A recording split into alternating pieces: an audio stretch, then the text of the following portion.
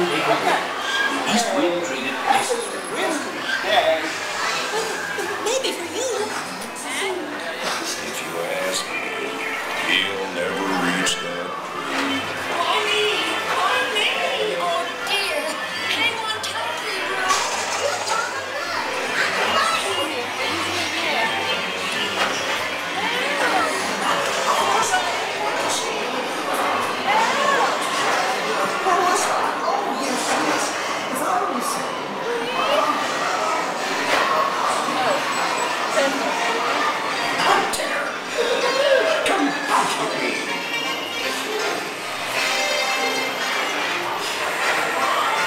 It makes you feel just great, doesn't it?